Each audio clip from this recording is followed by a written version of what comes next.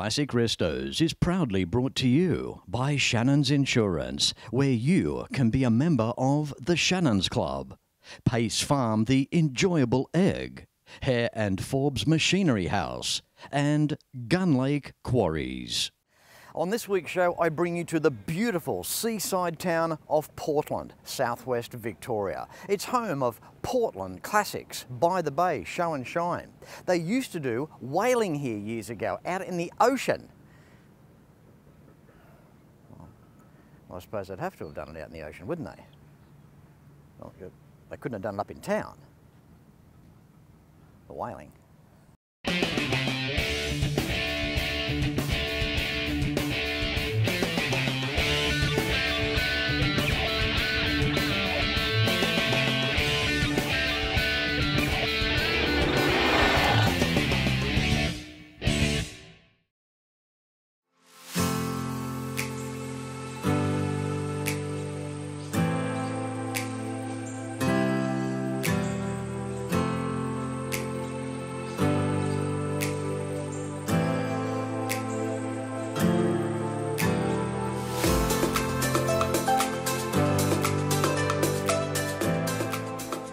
How beautiful is this place? Portland by the Bay. We're only about half a metre above sea level. The Donut Man behind me, he's having big rushes. He's in for huge sales this year. Around 200 vehicles turned up in 2020 and we're about to see what's in store for us in 2021.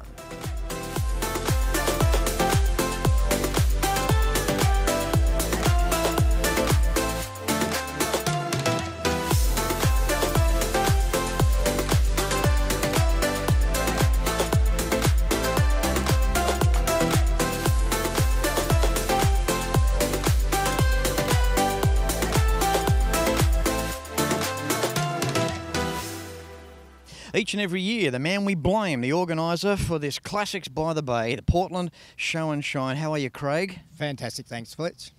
That's good. How you feeling, mate? Yeah, yeah, um, yeah, good, good for this time of the day. Um, it's been some long hours, but we got there. So The annual anticipation. ah, mate, it all, it's the same every year. So yeah, Uh, look, what you do for uh, for the whole town, you, you, you're renowned for organising charities and helping other people. Now, this guy here has two prosthetic legs, and y- y- we never hear boo out of you. You never, the, whinge is not in this guy's vocab. You just head down, bum up. You do a fantastic job for Portland, and of course, organising this show uh, each and every year as well, Craig. thanks, Fletch. Yeah, it's um, well, as they say, you know, no point laying down and dying. You've got to get up and do it while you can. So that's my motto. Well, you run around here better than most. yeah, you see a few fellas getting around here during the day, and you think, oh, that poor bugger.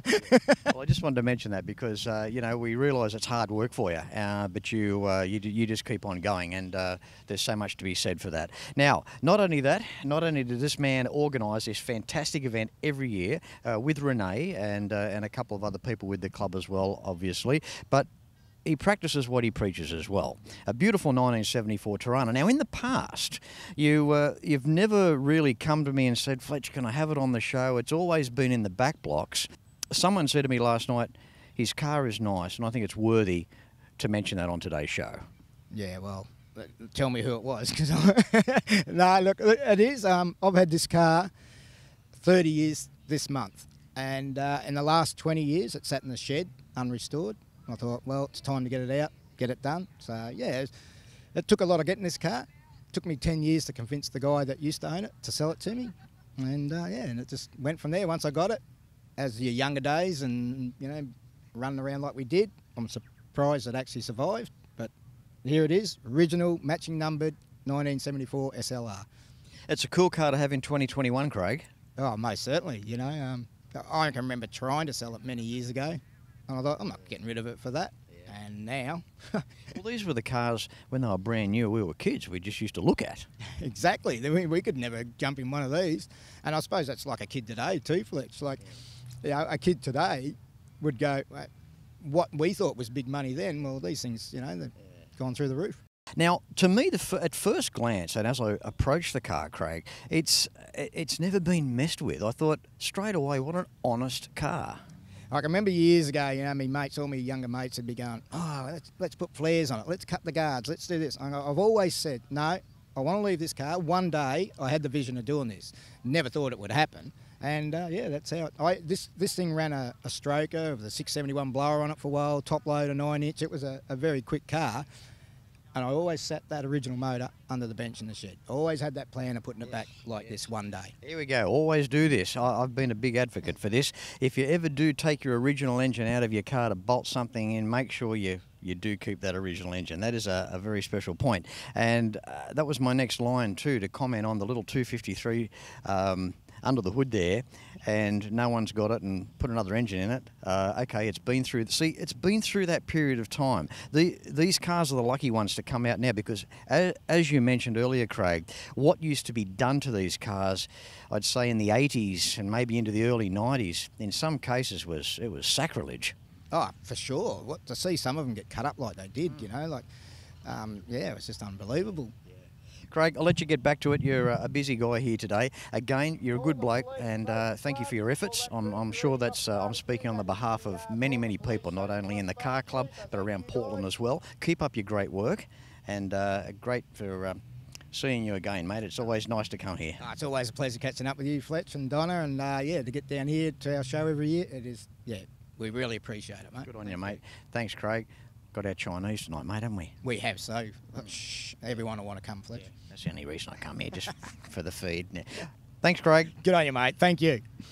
Yeah, look, I, I bought this car off an older gentleman. He's a mate. I've known him all my life, and I, I wanted it as a 15-year-old kid. I started hunting this car, and it, and ever since then, I just fell in love with it. Took me, as I said, took me 10 years to get it, but yeah, it wasn't going anywhere. I knew then it wasn't going anywhere else. It just, and now that car, It ain't going anywhere. It's not for sale. Won't be for sale. They'll be selling it after I'm long gone. Uh, yeah, it's, it's, it, it's my baby. This car sat in the shed for 20 years unrestored, basically stripped. And I'd go out to the shed, you know, and, and just sit there and look at it. Having that vision of doing it one day, and it just took me a while, but, and then it just come to me one day, I said, nah, it's time to do this now. I've got to restore this car and put it back to its glory, how it was. Um, as far as going to my panel beater and going, mate, I just want it to look like it did in 1974 and sitting on the showroom floor. And yeah, I just had those visions looking at it in that shed for those 20 odd years. Every weekend around Australia, motoring enthusiasts get together to share their passion for cars and bikes. It's a passion that brings us together. All sorts of people, all sorts of cars and bikes, from the classics of today to the classics of tomorrow. At Shannon's, we understand enthusiasts, so when it comes to insurance, it's got to be Shannon's. Shannon's, insurance for motoring enthusiasts. Call 13 46 46 for a quote.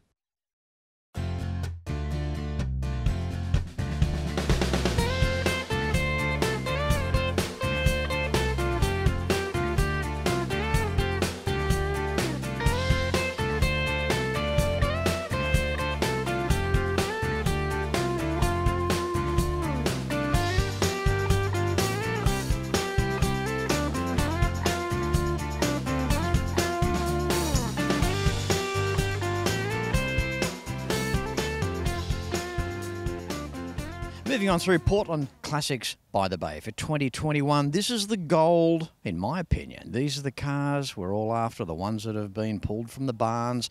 How are you, Lisa? I'm very well, thank you, Fletch. Thanks for coming along. Oh, thanks for being here. That's all right, my pleasure. Now, in my opinion, we're, we're looking at a car here, original. Uh, nothing's been done to this car. It's never been painted. It's it's how you found it. You're not fixing up someone else's bad breakfast. This is a brilliant example. This is how she rolled off the factory floor without her dings and scars, but yeah, absolutely original. Lisa, we're looking at 1970 HG Kingswood wagon, uh, complete with uh, air-conditioned, ventilated front bench seat. Yes, that's correct. The front bench seat is air conditioned. Uh, this is how you find them. Isn't it a funny thing? Years and years ago, these are the reasons, like a cut in the seat or a ding in the rear quarter. These were the reasons why people would trade the cars, get rid of them. And now we're saying to ourselves, we want to find a car with a split seat and a ding rear quarter. You know, we want that now. Absolutely. You know, she's a testament to the times. She's survived 50 years. Now, you've got a few Holdens in your collection. Uh, you seem to have the eye to find these things, which is good on you. Good on you. Um, what's the story here? What do you? What can you tell us about this particular wagon? My husband is a truck driver. His truck broke down and he jumped on Facebook and this popped up. And I'd said about a fortnight before, I want one in every series in the KTG. So the Monaro, the panel van, the sedan, the wagon. It popped up and he contacted the guy within a minute of it going up. He rang me and he said, It's just come up. I said, I was about to tag you in it. He said, I've bought it. Rang him back, paid a deposit. By the time he finished paying the guy the deposit, he'd received 40 phone calls. There's a lot to be said for timing. Oh, absolutely. We're talking such a base model car here too. Uh, three on the tree as well. Yes, three on the tree that, uh, you know, not everyone can drive. it's a learned skill. Yeah. So she's pretty sure to not be stolen because you couldn't drive her. And having said that, though, um, the, the old Holden three-speed gearbox is such a, a beautiful, simple little box to use, though, too, isn't it? Uh, it sure is. Yeah, very simple, very easy to drive if you know how to, and almost bulletproof. Talking of bulletproof, I've got to say, got a bit of time there for the old 186 up front. They were they were a, an engine that uh, that held a good accolade. Um, they didn't get the recognition of the 202 at Bathurst in an XU1, but a 186, uh, a a good, strong red engine. Very, very good, strong, reliable, starts first time every time. And how many times do you hear that? Uh, a lot of our old cars, uh, the ones that are, are well made, they can sit for 40 years, 50 years, put a battery on them, a bit of fuel down the carby, turn the key, and boom, they start. And I, I just, I love that. Yes, absolutely. No, this had sat in a shed for 15 years. It was covered in an inch and a half of dust. It started. They, it's still got the original battery. It started straight away. I see you've done a, a few little things to it. Obviously, a brand new set of uh, tyres, well, that makes sense. Uh, nice set of 195s you put on there. I like how you've kept the factory steel wheels and, of course, the Holden push uh, push on hubcaps as well.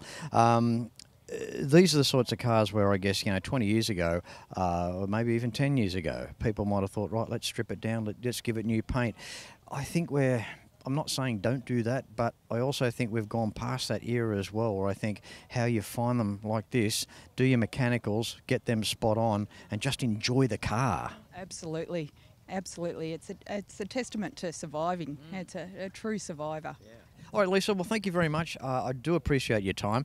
Love the wagon. Uh, as I said, this is the this is the gold now, in, in my opinion. Seeing cars just like this, and uh, we've all got memories of them. Whether there's someone in the family that had them, or just being able to remember them when we were kids. Uh, there's there's something about an old car, and it can trigger that that um, the heartstrings, and, and I think that's most of it as well. It takes us back to good times. It- yeah, In a different time. in a different time. Yeah, yeah. All right. Thanks again, Lisa. Thanks, Fletch. This old girl means the world to me. She takes me back to a time growing up where streets were free, we could play, we didn't lock our cars, we didn't lock our houses, we could play until the streetlights came on. It just takes me back to that era straight away. These old cars are fantastic to drive. You jump in, uh, the seat belts aren't automatic adjusters, you've got to adjust them to you, but you get in and it, the seat belt's adjusted to you every single time. Steering takes a little bit more on the tighter turning circles, but they just drive like a dream. She sits on the road beautifully, parks up, drives. The visibility's fantastic. You can see better in some of this than some of the newer cars. This car, she's 50 years old, half a century, and still drives as good as today's cars, if not better. She's just absolutely beautiful. Now, there is no way in the world that you can bring a 1936 Auburn to the show without getting interviewed. Isn't that right, Terry? Oh, looks very much like that. Yes, yes. Okay, I'll be honest with you, he didn't really uh, feel up to being interviewed. I kind of talked him into it because it's a stunning car, and as I just alluded to, it's it's not the type of car that you see at every car show. What can you tell us about this outstanding Auburn, Terry? well, it's a 1936 852 supercharged Phaeton. Um, I bought it probably probably 45 years ago. Uh, I took 20 years to restore the car, and I've driven it many, many miles since, and it's been a great car, and I enjoy it. We're talking the uh, one of the highest upper echelons here of 1936 in the United States of America to have been able to afford one of these cars. And the packing order went Auburn, Cord, then Duesenberg. So, with due respects, this is the entry level, but you'd never know that by looking at it. It, it is it is outstanding. The bright work, the shape, beautiful. That's right, exactly. Yeah, they were quite a smart car for their day. Yes, very. So 45 years ago, how how did that come along for you? Uh, they were, yeah, I was lucky to get onto it, but it was in a very sad state when I bought it. Uh, very rusty, um, down mechanically, but I went right through it, rebuilt everything, and you know, it's just been a great car. I just love it. The badging, uh, the script there, supercharged. How outstanding is that? Considering we still have that method of aspiration even today. Now, give us a rundown on the mechanicals in terms of the size of the engine and what you can there. Right, it's a it's a Lycoming engine, straight eight, flathead, uh, 291 cubic inch, I think they are. Um, it's supercharged. The supercharger is driven off the timing chain area, and it spins six times the speed of the engine. The supercharger, yeah, yeah, and uh, it's it's a quite an economical car. It does 18 to 20 miles to the gallon, which is pretty good for an American car. Now we look inside the beautiful interior, the big bolstered leather seats. Uh, looking at the view there, the Art Deco dash, and in, in all its exuberance, sitting there with those beautiful gauges, uh, finely detailed.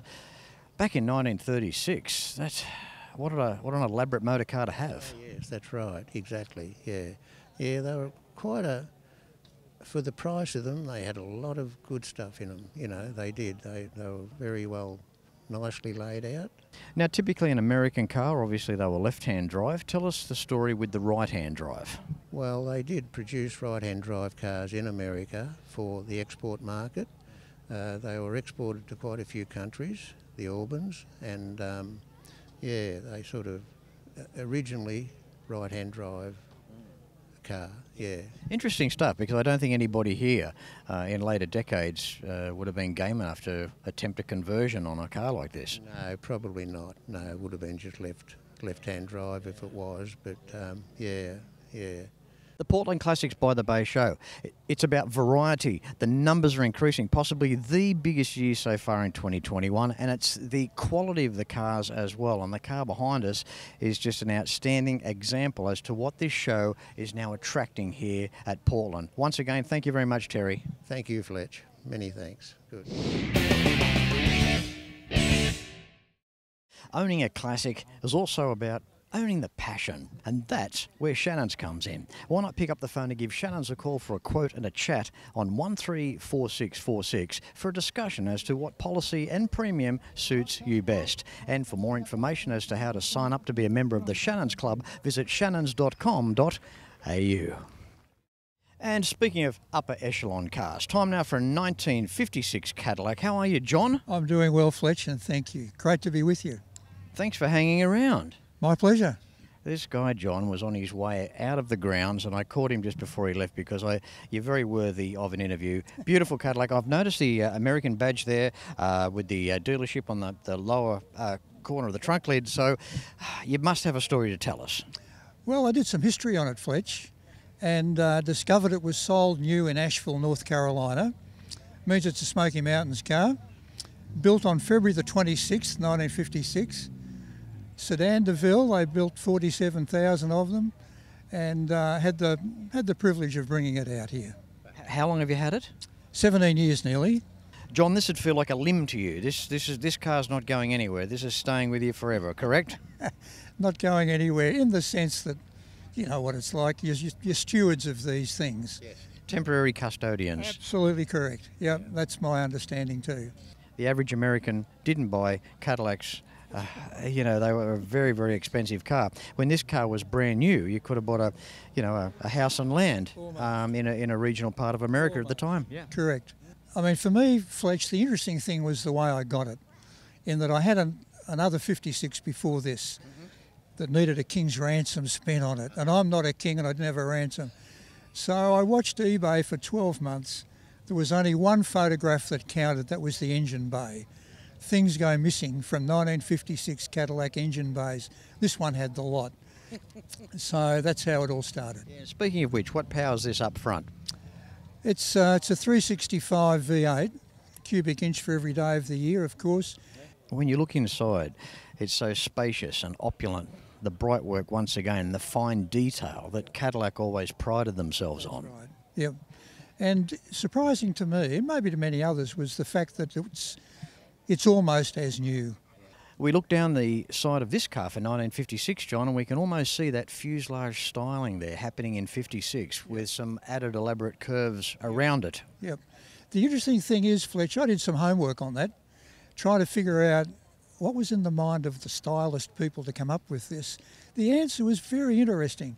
They said it was modelled on a P 38 Lightning aircraft. So when you look at the front, there are the twin engines when you look at the rear, here are the fins, and you think, golly, that's actually quite creative. They've caught a spirit of something there. It is, John, and it's also back in an era, especially too in the United States, where it was an era of, uh, of space travel and it was an era of comic books and, and space age inspired stuff. Um, well before man was put on the moon in 69. So Mm. you can imagine the anticipation for the era uh, leading up with all these technologies that were around at the time. Yep. Well, what's interesting to me is uh, it's come with the Autronic Eye, the automatic headlight dipper.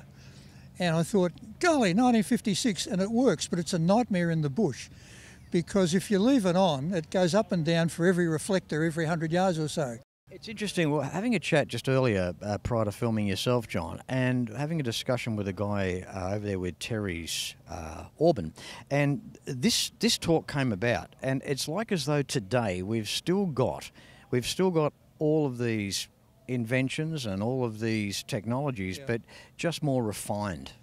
I think that's right. And for me, I used to be a history teacher, and cars reflect the age. And I think this sort of motor car was talking about the exuberance of the post war period. You know, the prosperity, mm. the land of the free. Let's think big, not small. So there's a whole historic statement here as well. I've always thought that myself. There's no future in small. Well, not in the middle 50s, there certainly wasn't. John, been a pleasure uh, catching up with you. But just before I do go, could I ask you uh, what was your uh, your your last uh, your your career? Uh, I started off as a high school teacher, then spent 45 years plus as a Baptist pastor. Well, it's it, it's the, the the church has been kind to you. I've been very blessed, and thank you, Fletch. Good on you, John. No, it's been a pleasure, and I appreciate the kind words that you gave me um, as I approached you as well for coming to, to Portland. I thank you and Donna for coming. We appreciate it very, very much. That's all right. That's my pleasure. Thank you very much, John. Fletch, thank you. And I think a nice way to round off today's show. A 1969 VF Pacer. How you doing, Steve? Not bad, Fletch. How are you? Good, mate. Good. Bringing back nice memories for you. Remember many years ago, same time of the day, your Black Valiant on the sand here. Yeah, it was very good. Um, I enjoyed that, and it's been a really good day today. So, and they've had a really good turnout. It is excellent, and it's time now to relive a moment because another opportunity with, with one of your Valiant cars here. Nice car, original Pacer, well done. Yeah. Um, I bought this car from a, a place or guy in Murray Bridge. I wasn't really looking for one. Come come across it by accident, and uh, I went and had a look at it. And when I seen it, I thought, well, I've got to have it. So I went all out and uh, bought it.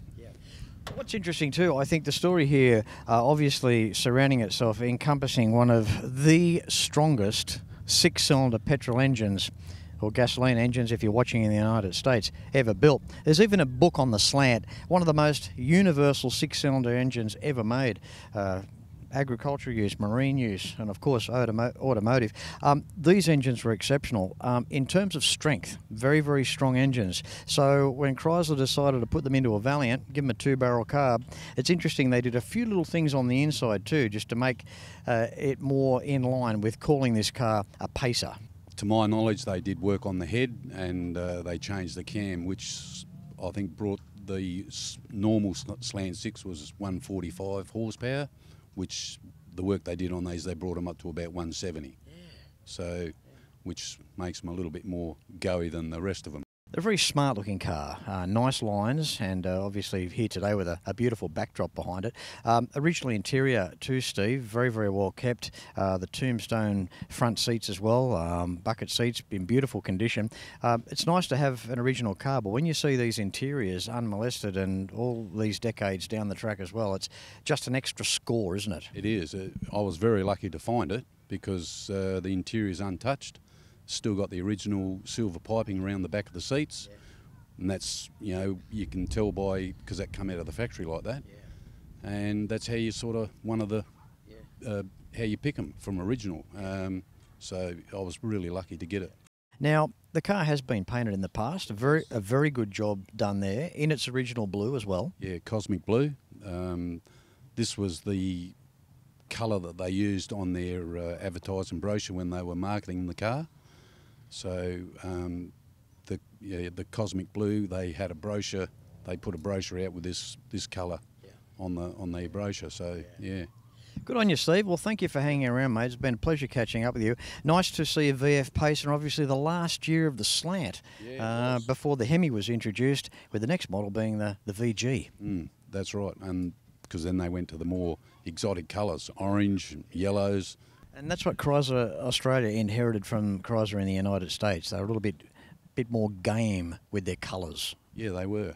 Like I can remember as a young bloke going to the local Chrysler dealer, and uh, the first, like the VG with the Hemis in them, the bright canary yellow yeah. rocker covers and yeah. the black stripes, and yeah. everyone was in such shock of because of the bright colours. See, to the old blokes back then, you know, 38, 40 years of age, they just would have looked upon those leery, those colours were just way too leery. Yeah, they were. Yeah, that's right. now we've got 70 year old blokes and, yeah, and, looking, and for looking for them. It's great to reminisce about what we know and what we can remember about these cars, and uh, it's a great example right here, mate. Thanks again, Steve. Thank you. Thanks very much. Well, I hope you've really enjoyed this week's episode of Classic Restos featuring the Classics by the Bay here in Portland. A massive thanks to the Portland Classic Car Club, Craig and Renee and the whole team putting this fantastic event together for 2021. I hope you've enjoyed the show. Until next week, no matter where you're watching Classic Restos from, please ride and drive safe. I'm Fletch and I thank you very much for watching.